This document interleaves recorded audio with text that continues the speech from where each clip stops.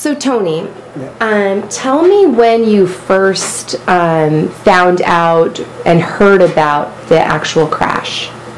That was uh, in January, uh, what, 58, Okay. something like that. Yep.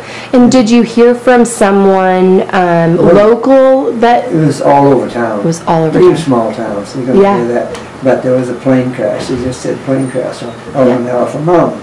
Uh, Yeah. And uh, they, the, the first thought that everybody had been killed, but there, fortunately, there was a couple who did survive.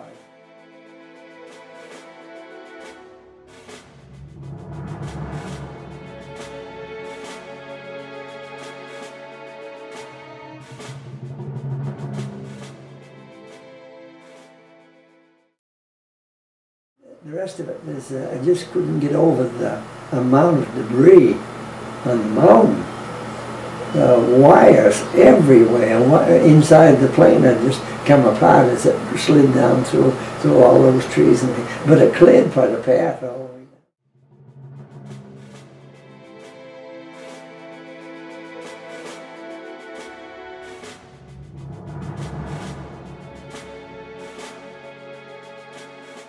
the planes forth. Anyway, but that's what was left. Now, the, the wheels, of course, you have no idea until you get there.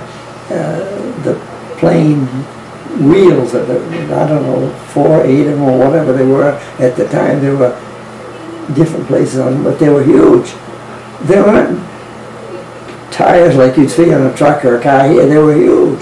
They were as tall as you could, you know, you'd stand up and they're pretty as tall as you were. unbelievable? And in different locations.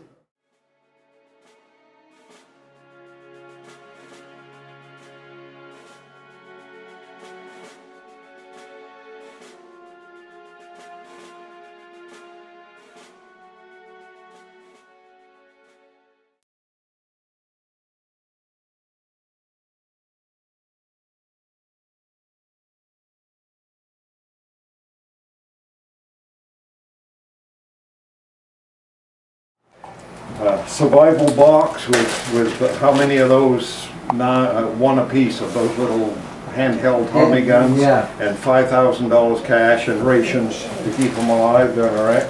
Uh, this is the rectifier that was in the, in the, uh, middle of, the- of all these prisons.